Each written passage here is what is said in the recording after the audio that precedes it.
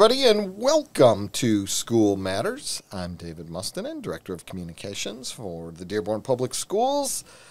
Thank you for taking some time to join us today on our uh, podcast here as we talk about a variety of subjects that focus in on all the different areas in the Dearborn Public Schools. Uh, I am very, very pleased to uh, have two very special guests joining us today. Uh, they are from our Adult and Community Education program, Miss Ioanna Garrisi and uh, Miss Myriam Ghaith. There you go. See, I got that right. See, I told you, I, I, I always ask in advance, but I it always right when I have to say it, then I get that mental block going. So, okay, great. Uh, thank you very much, ladies, for joining us here today. Uh, we in Dearborn have had a, a long-standing adult and community education program in our district for many, many years, and it's one of the bigger programs in the state of Michigan, if not the biggest. So. Uh, first, uh, so you know, I'll just kind of start with you. Um, if you'd like to give a, you know, give us a little background, tell our guests a little bit about you and, and your involvement here, and how long you've been with Dearborn, and, and, and let's just start off that with Okay. that way. I've been with Dearborn, David, um, and I'm a very, very grateful and very lucky to be a part of the Dearborn Public Schools uh, for over 28 years. I started out as an ESL teacher. Um, at uh, at that time, Adult Ed was uh, running classes out of Access uh, in the uh, southwest part of Dearborn. So I taught there, and um, soon thereafter, I was uh, I applied to be the uh, school to work supervisor at the School to Work Academy, which was on Miller and Miller and Schaefer. No, not Miller and um, Warren on the corner. Yeah. Yeah.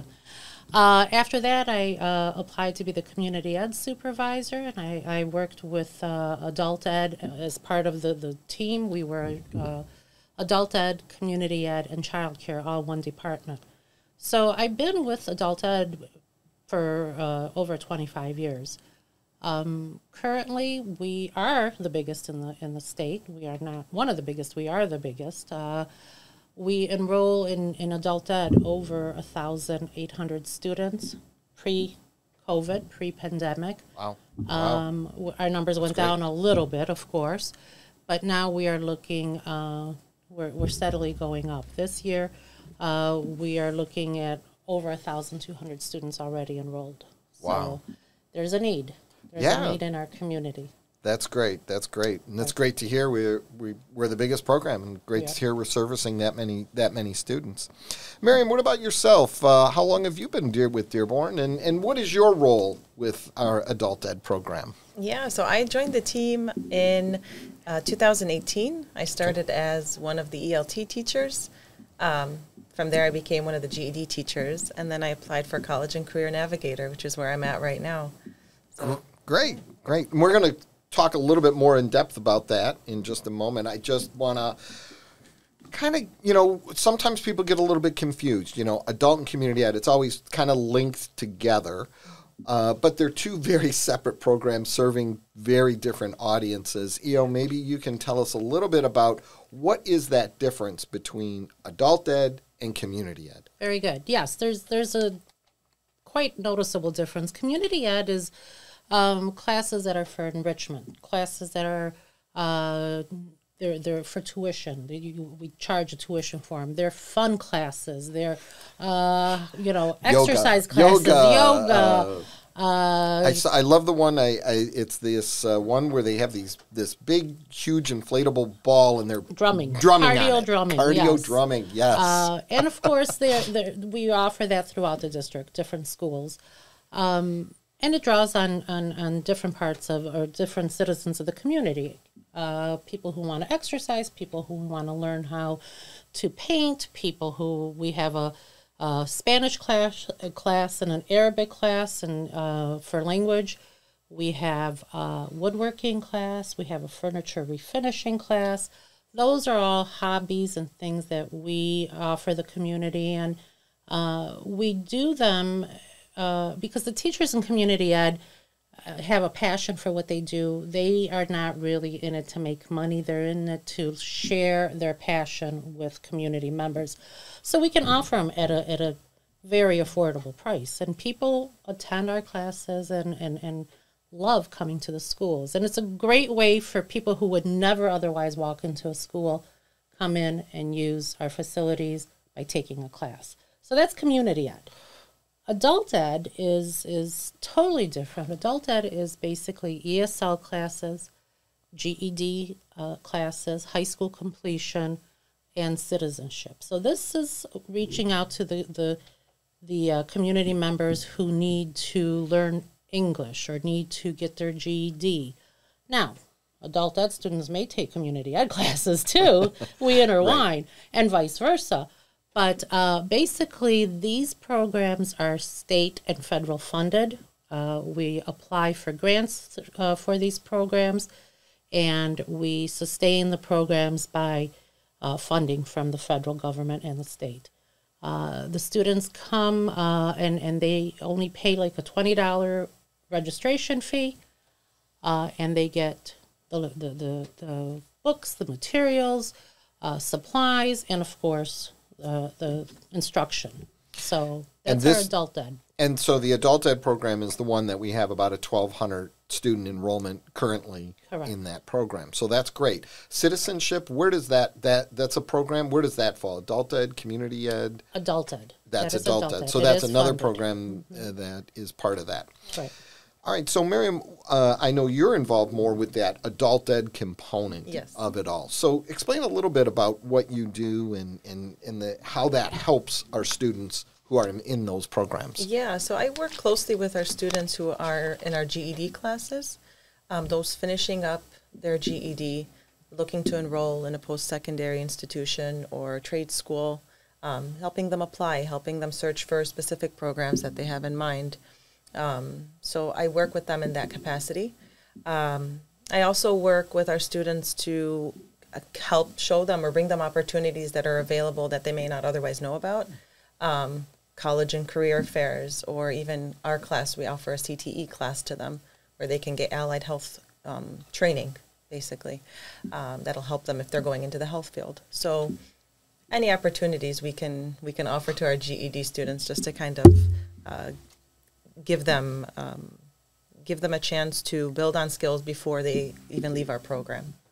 Now that sounds like something that obviously is a great service to our students. Do all adult ed programs offer that kind of extra support that you're offering, or is this kind of unique to us? Uh, I wouldn't say unique. I think depending on the programs, they offer different CTE training classes. Okay. Um, the need for us we saw was really in the health field. A lot of people were interested in going into that, and so we wanted to make sure that they had um, sort of the skills that they would need. Maybe as a, we tell them, it's our it's a great uh, first first first class to take before going into college, even if they're if they're considering anything in the health field.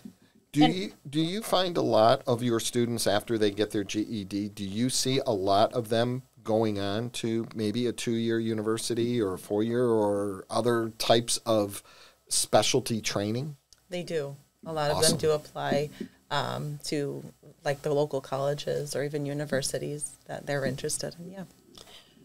We, you know, David, we like to have like a really hands-on approach, and and yeah. our, our our community is is unique in many ways. It's different than Troy, it's different than Novi. I mean, they have large programs two adult ed programs.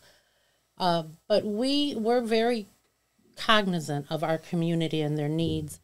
And for example, when Myriam works with students and they have a college and career fair, we tell the students about the college and career fair, but we don't just say, just go, go. Uh, for example, tonight there's a, a career fair at Edsel. Myriam and Ramsey, uh, our assistant supervisor, will be there, will go so that way they can help the students navigate that. Some of our students, they've never been to a career right. fair or sure. college fair. They, they don't know what it's about, they don't know what to expect. So we always make sure that our students are supported in, in what maybe sometimes we take for granted, you know, something right. where they need support. Uh, some of them have done it, that's fine, but the ones that have never been to a fair, Myriam will be there, Ramsey will be there, and say, hey, you know what, you're interested in this kind of field? Let's go talk to this school. Let's go here.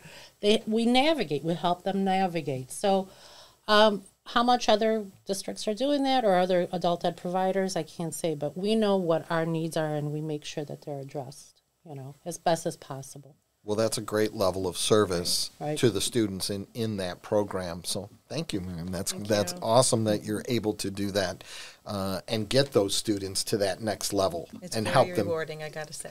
I'm sure it Yeah. is. I'm sure it is. That's got to be kind of special when you see those students who maybe they they come to you, they start the program, um, maybe having yeah, and no direction or or just not sure where to go, and as they work their way through that program through your working with them and through the staff members working with them.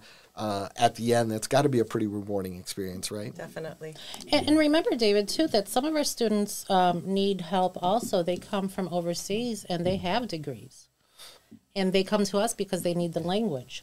But then they don't know how to go about making sure that that degree is is translated is Evaluated. evaluated is so Myriam would help those students too. It's not just you know the basic; it's even people with degrees. So it's uh, we have a wide variety of students and wide variety of services we provide, and and we work also closely with Access. We work closely with SEMCA, um, Southeast Michigan something Alliance.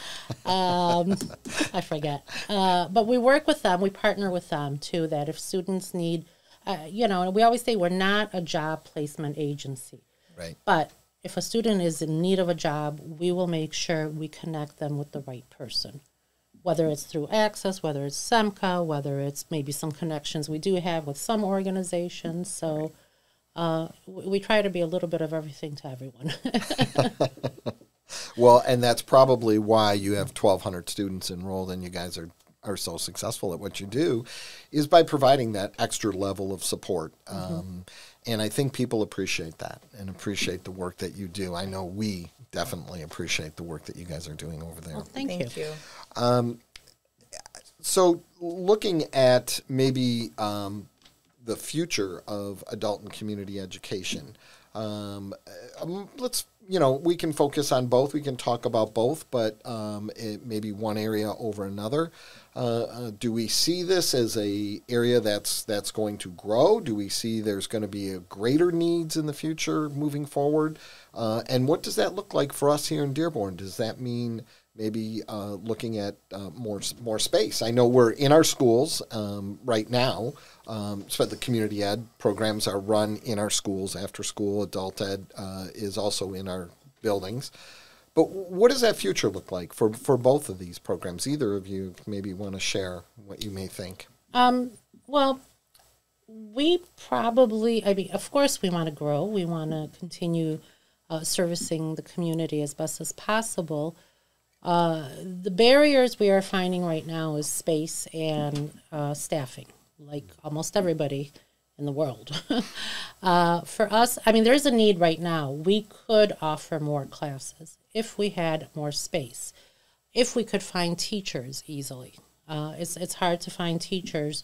Uh, we we uh, hire certified teachers for adult ed, so uh, it, they have to be certified um, by Michigan. They can't have like a TESOL certification. Um, so yeah, we'd like to grow, but it's it's a little hard. We have been approached by a couple of uh, organizations and uh, entities in Dearborn and been asked to go and offer classes there, and we can do that, of course, but. Uh, we already are, are offering classes at one mosque and in another cultural center, Bint Jebail but we pay rent and, and that's fine but we can't like pay rent at 10 different places. So yeah space is an issue and then of course finding teachers. That's a, it's always a, an issue and and making sure that we uh, can fund these teachers or the amount of students or excuse me amount of classes we offer. Uh, so yes we want to grow but there's there's areas where we would you know and, and but the district is great. Uh, uh, we've always had great support from Dr. Maleyko and from the Board of Education and been uh, uh, given rooms or, or allowed to use rooms uh, as much as possible. We have currently five rooms, five or six, five rooms uh, at the Berry Center that we use during the day. We have three rooms that we use at Salina during the day. Uh, and if there are any rooms available in other district, uh, in other schools in the district, we're always uh, welcome to use them. But as you well know, rooms are very Yeah. Very Space at a afield, premium. yeah. Right. So I mean that's that's it in a in a long Yeah. you know short Yeah. form. Um, community ed is is uh, I think community ed is kind of hurting throughout the whole state. It's not just our community ed. We are finding challenges. Uh, um, people are starting to to branch out a little bit, but we're trying to find new, innovative, and, and, and exciting programs to offer. So uh, we are continued we're continuing to keep that program alive um, and offer classes that are of interest. Uh, we're just going to offer a bagpipe class. Is that something you wanted to learn? I don't know. I, I yeah. Let me think about that. I, I'm sure my wife would love me uh, practicing around the house Yeah. uh, on the bagpipes. Right. Yes, yeah. I'm sure she'd like that. Um, but interesting. I like it. I like the variety. I, I think that um, really the adult ed program and the community ed program uh, is kind of reinforces that mission of the district that that we are a you know we are a P14 district, uh, but but we're really here to meet the needs of of all of our community, uh, no matter the age and no matter what those needs may be. Uh, I touched on it a little bit, and, and I've I've seen so many great pictures uh, of your citizenship class. Um, I think that is awesome when you, you post some pictures of somebody who just passed the test and they're so proud uh, to to uh, you know reach that goal, and uh, I think that that's always a great great program as well that I know you guys offer. We had a family of was it five? It was a father and um, and four of his children, uh, and they've been attending classes ESL and citizenship GED as well. and GD as well. And I'll never forget this. This is the things that you take with you, like you know, and you remember, and you're like, okay, I love what I do. I was in the hallway, and I don't remember the gentleman's name. Do you know the gentleman's name? The father? Yeah, Yeah, Ibrahim. Ibrahim. He he was wearing a suit and he was walking down the hall. He was coming in and he was carrying a tray of sweets because that's what we do when we when we when we become citizens. We bring in and we treat us. Celebration. Nice. And he's nice. walking in, and the smile and the pep in his walk. And he was walking towards me, and he's like, I passed, I passed, I passed. And I was like, those are the things you remember, and, and they're so excited, and, and they motivate us. You know, they keep us going and they motivate us. Um, and then his other three children passed too, right? Yes. Yeah.